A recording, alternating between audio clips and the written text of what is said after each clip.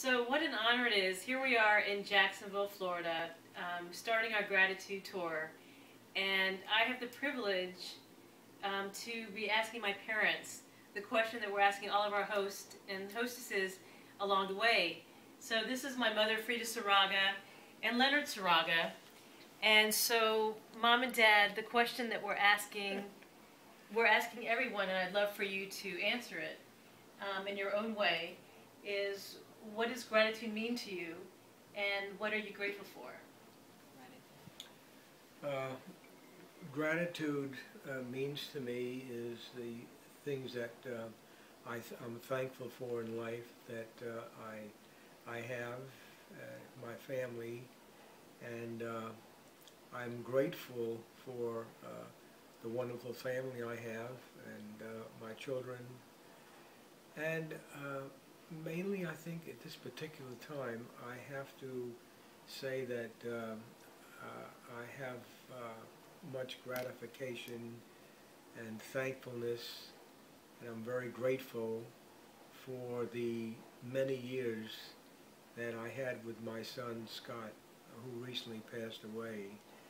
And uh, although I'm very sad that he's gone uh, as I look back at it I'm very grateful for the many wonderful years that we had with him and uh, not realizing how much it was enjoyable at that time because we take it for granted. But uh, I am very grateful for the time I had with him.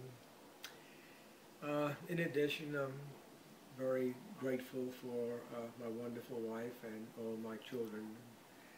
And uh, the fact that I'm still here, reasonably healthy, doing all the things in life that uh, I would like to do. Uh, I think I'm grateful for what life has brought, uh, for the value of life, for uh, being able to do the activities I do.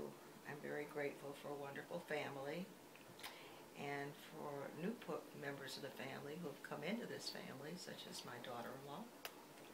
And uh, and Ruben's uh, girlfriend, Vicki, and just I am grateful for life itself and the new adventures that life always brings, and the willingness to to try those adventures.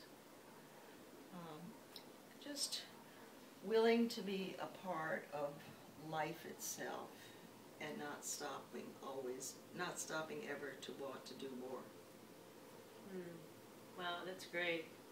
So I am so grateful for this moment in time to be able to hear from my parents sharing what they're grateful for. And uh, I can't wait for this journey to continue. Um, so keep keep looking, keep searching for us on on YouTube. Watch MVVP TV.